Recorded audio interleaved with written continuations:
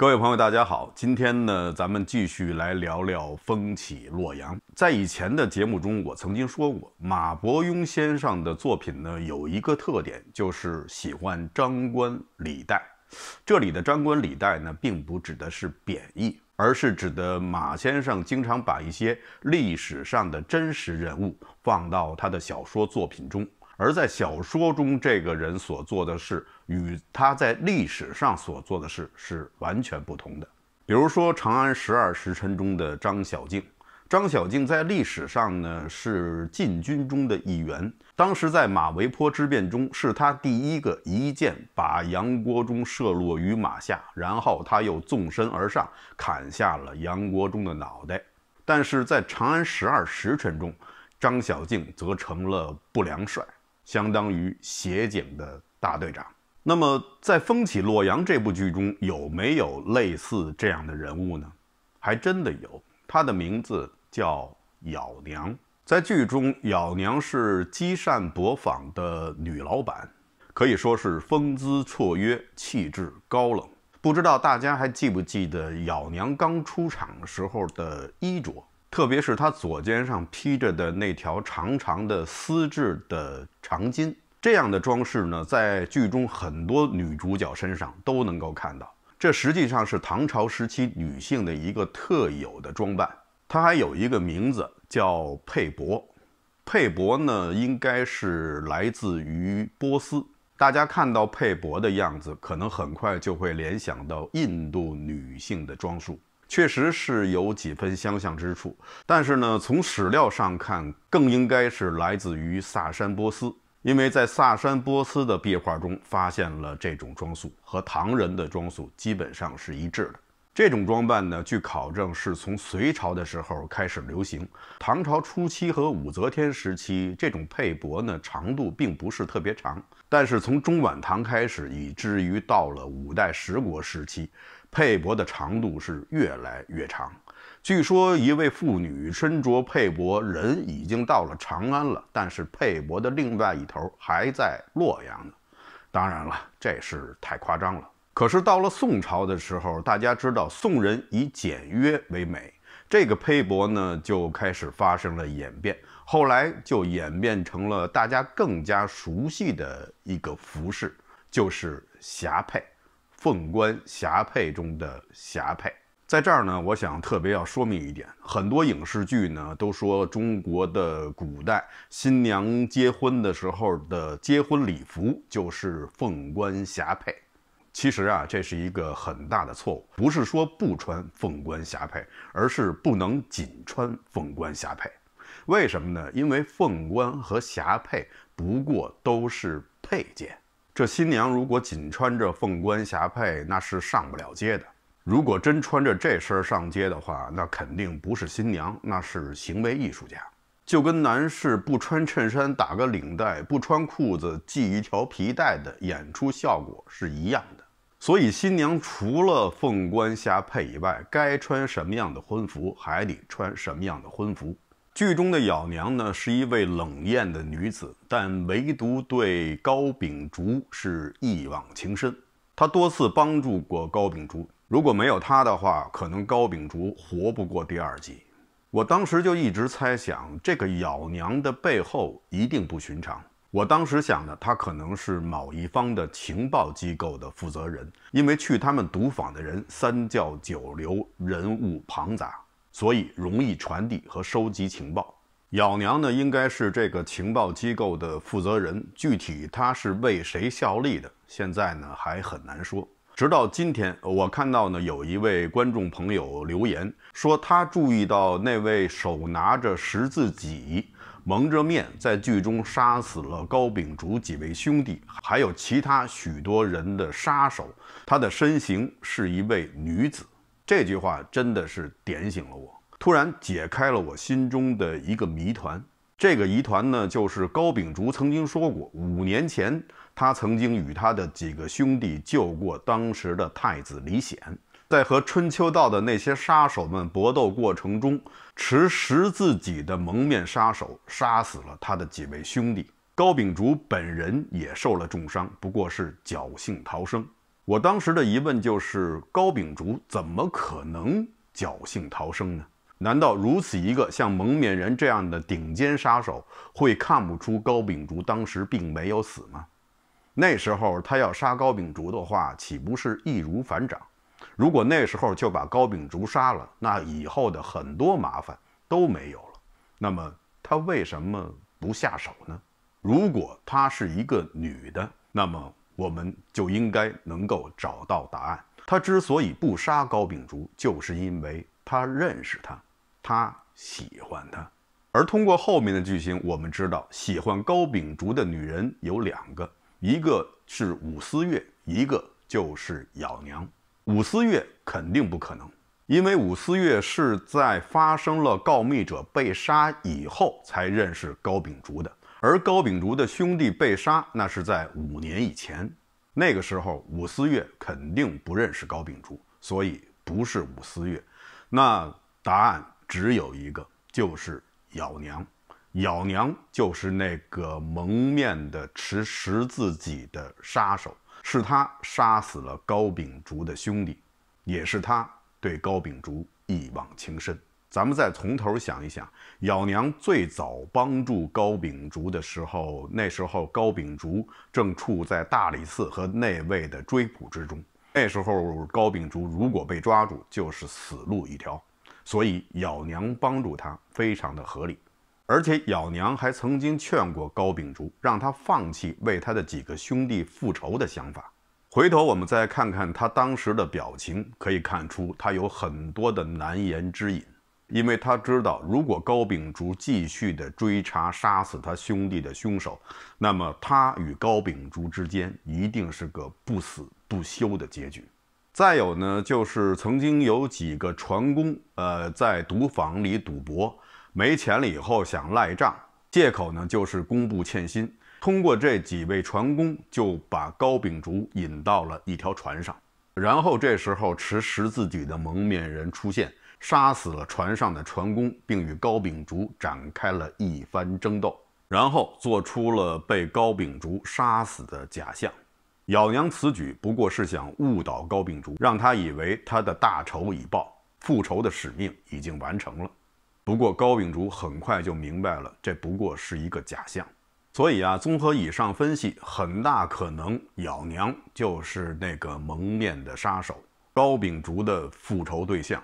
至于在剧中咬娘会是一个什么样的结局，我还不知道。我现在只看到了十八集。但是我相信呀，这肯定是一个悲剧的结局，就像我刚才说的，不死不休。好了，说完了剧中的咬娘，咱们再聊聊历史上真实的咬娘。历史上确实有咬娘这个人，而且所处的时期正好也是武则天时期。不过呢，可能比剧中的时间呢要提早十五年，那是在公元的六百九十年。不过她并不是什么赌场老板，她是一个婢女，确切的说是一位舞婢。她的舞跳得非常的好。她在隋朝的时候也是出身于世家，后来改朝换代，家道中落，自己呢无奈之下只能卖身为婢。她的主人叫乔芝芝，乔芝芝这个人也不寻常。他的父亲乔失望是安西都护府的第一任都护。他的母亲姓李，是庐陵公主，是李渊的女儿，所以乔芝芝就是李渊的外孙子。虽然说贵为李渊的外孙，但是在武则天时期，李氏的亲戚呢，并没有得到重用。他的官职并不高，只是做了一个小小的右补阙。虽然说官儿不大，但是呢，他却是颇有文采。而且呢，毕竟是皇亲国戚，所以呢，他也能够经常的把一些朋友邀到府中，让自己家中的婢女为这些朋友们唱歌跳舞。这也是当时唐朝贵族生活的一部分。咬娘就在这些聚会中，因舞姿出众，而在京都洛阳慢慢的有了名气。这样，咬娘的艳名就慢慢的传到了当时担任文昌左相的武承俭的耳朵里。大家可能有点疑惑，这个文昌左相又是个什么官儿？这个呢，我想跟大家稍微解释一下。在武则天时期的政府机构设置，和以前唐朝的三省六部制虽然内容一样，但是名称上完全不同。大家知道，开始于隋朝的三省六部制，指的三省呢就是尚书、中书、门下；六部呢指的就是吏户、礼兵、刑工。中书省的最高长官是中书令，尚书省的最高长官叫尚书令。呃，门下省的最高长官叫侍中。唐朝的时候没有尚书令，因为李世民曾经担任过尚书令，所以后面的皇帝就没有再设尚书令这个职位，以示对唐太宗李世民的尊重，同时也是为了分解尚书令的权力，所以就设置了左仆射和右仆射。尚书左仆射、尚书右仆射，再加上门下省的侍中以及中书省的中书令。再加上由皇帝选拔进来的同中书门下平章事，又叫同中书门下三品，一起构成了唐朝的宰相集团。这是武周以前的设置。到了武周时期，这三省的名称就发生了变化。以前的中书省改名叫凤阁，最高行政长官叫凤阁侍郎；门下省改名叫轮台，最高长官叫纳言。尚书省改名叫文昌台，以前的左仆射、右仆射分别改名为文昌左相和文昌右相。以前的同中书门下平章事，自然也就变成了同凤阁鸾台平章事。大家熟悉的狄仁杰就曾经担任过这个职务。这是三品的大员，在唐朝的官吏中是最高的。因为一品、二品都是虚衔，只是象征着一种荣誉。以前的吏户、礼兵、刑工六部也依次的被改成了天地、春夏秋冬，就是说吏部就变成了天部，而工部就变成了冬部。所以剧中担任工部尚书的百里言应该是东部尚书。武则天呢，作为中国历史上的唯一的一位女性皇帝，她所做出的很多改变都非常具有女性的特点。比如说，大家在剧中看到的男士们的头巾上面有两个类似于横看的驼峰的样子，大家千万不要以为这两坨就是头巾下包裹的头发，因为大家想想，每个人的发量是不一样的。不可能都能攒成这样同等高度的两坨头发。其实啊，在这块头巾，这块头巾呢叫蒲头，在蒲头下面呢是一个叫金字东西的支撑物。最早呢，它是由一种类似于金条的材料制成。这个东西的名称呢叫金子。在隋朝和初唐的时候，并没有这种东西。即使后来慢慢有了，也是很矮的那种，很不规范。后来到了武则天时期，他特意给他的大臣们每个人发了一个高金子，是用绢和一些其他的材料制成的，有一定的硬度。这样的话，朝廷的官员戴起来以后，就自然掀起了这股时尚。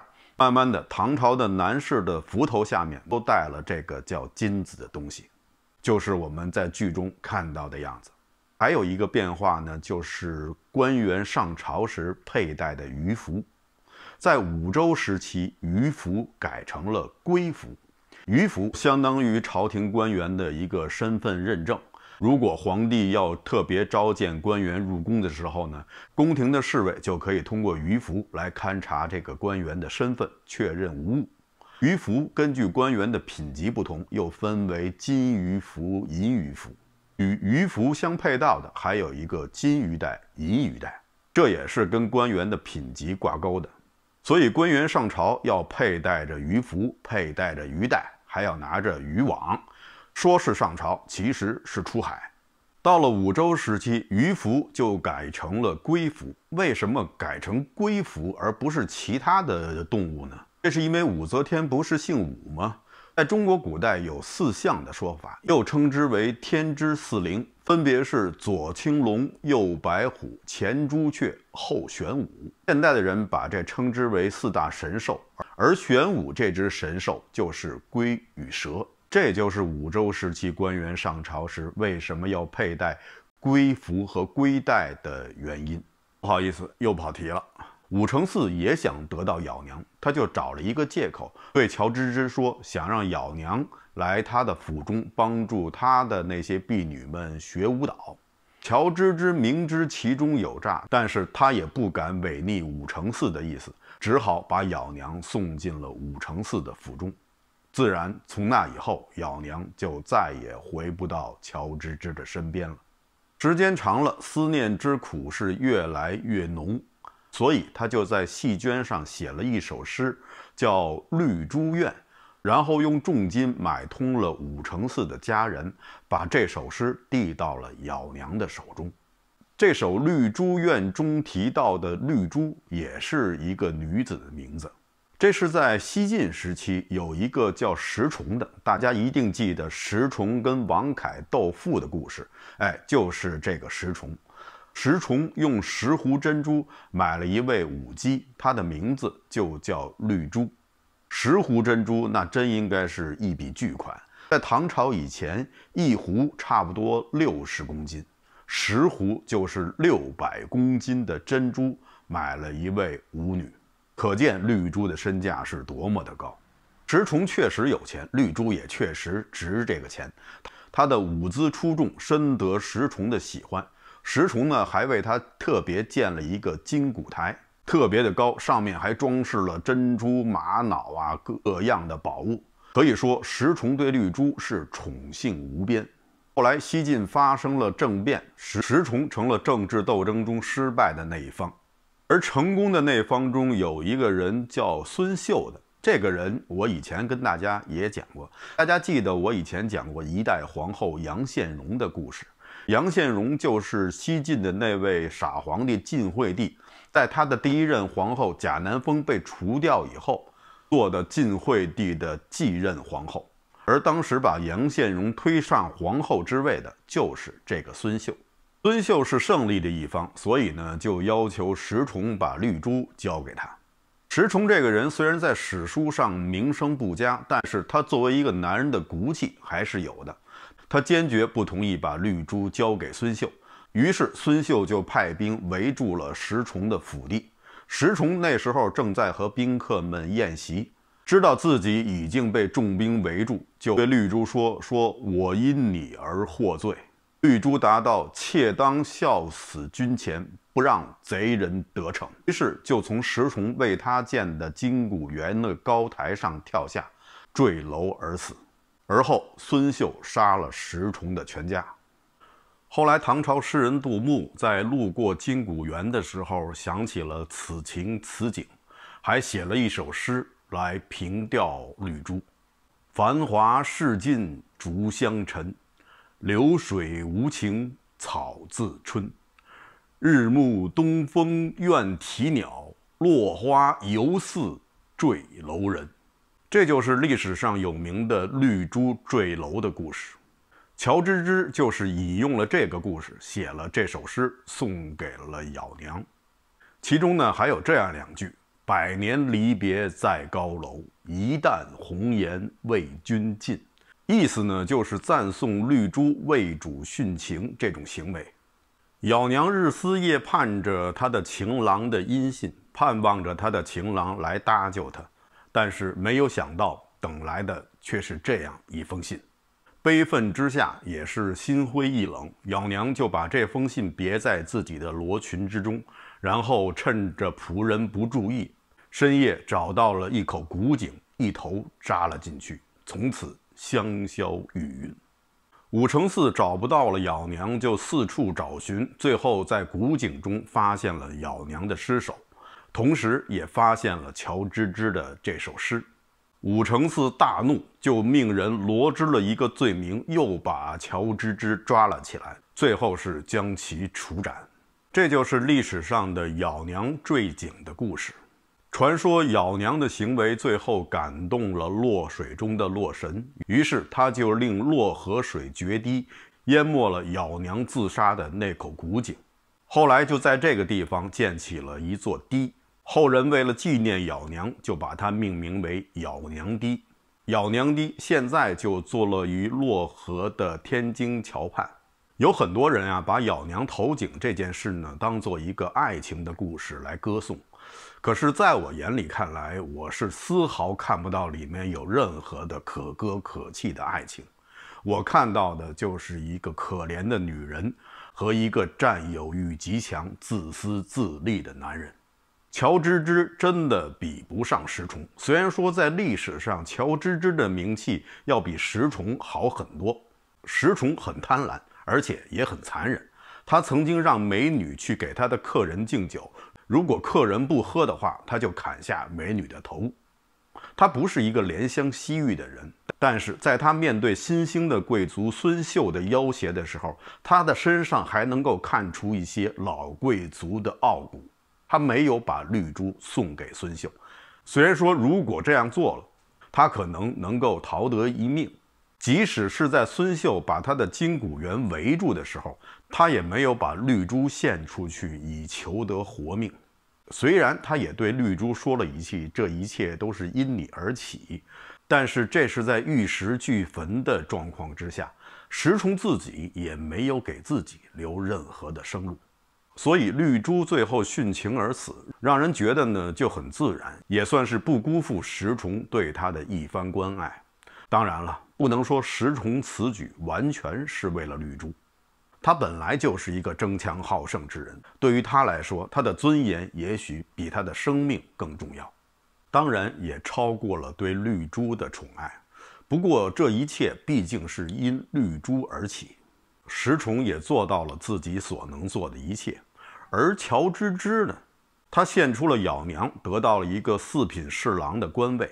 又觉得自己这样做有伤自尊，心里头不平衡，所以他就给咬娘写了这样一首诗。他是变相的规劝咬娘用自己的生命为他挽回一些尊严，让他的心里能够得到一些平衡。乔芝芝在面临武承嗣这样的新兴贵族的时候，并没有保持他一个老贵族的尊严和体面。他献出了咬娘，不能保护自己心爱的女人，我们只能说他软弱可欺。但是他给咬娘写了那样一首诗，让咬娘用生命去成全他可怜的自尊，这就不是一句简单的软弱可欺可以形容他了。这充分表明了他内心的黑暗和自私。所以，他与咬娘的这个故事并不是什么爱情故事，这里头没有爱。只有怨。我们再看咬娘对他写的这首诗的处理，在那种情况下，他用三种方法可以处理这首诗。第一是留在自己的房中，这样武承嗣就会很容易地发现他，然后迁怒于乔芝芝，乔芝芝绝对不会有好的下场。第二就是把这首诗烧掉，这对于咬娘来说不过是举手之劳，然后他再自己从容赴死。但是这样就保全了乔芝芝。咬娘采取的是第三种方案，她把这首诗带在了自己的身上。我猜想她当时心里头也非常的矛盾。她知道这首诗如果被武承嗣发现，乔芝芝绝对不会有好结果。他如果烧了这首诗，武承嗣就怪不到乔芝芝身上。他把这首诗带在身上，实际上是选择了一种折中的方案。或者就叫做听天命吧。如果武承嗣能够在短时间内找到他的尸首的话，就会发现这首诗，继而找乔芝芝算账。如果天命没有让武承嗣找到他的尸首，或者说在短时间内找到他的尸首的话，那这首诗恐怕也就自然消失了。咬娘没有做到很绝情，但是她也没有原谅他。所以他把这一切交给了上天，最后上天让武承嗣发现了这首诗，杀死了乔芝芝。十三年以后，咬娘又出现在了神都洛阳，不过这次并不是在现实生活中，而是在剧里。这时候的咬娘已经不是过去的舞娘，而是成为了一个手眼通天的赌场的老板。一个三十岁左右、成熟美丽的女人，如果历史上的那个咬娘没有死的话，到了剧中的这个时间，也正好是这个年龄。那么剧中的咬娘是不是那个满怀悲愤坠井而亡的咬娘呢？应该不是。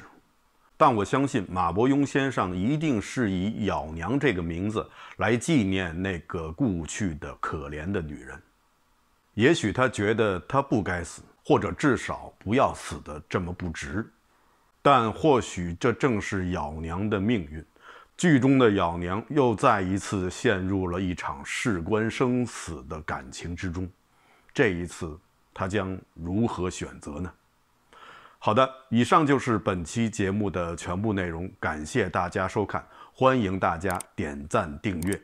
这里是 Frank 为您讲述有温度的历史，咱们下期节目再见。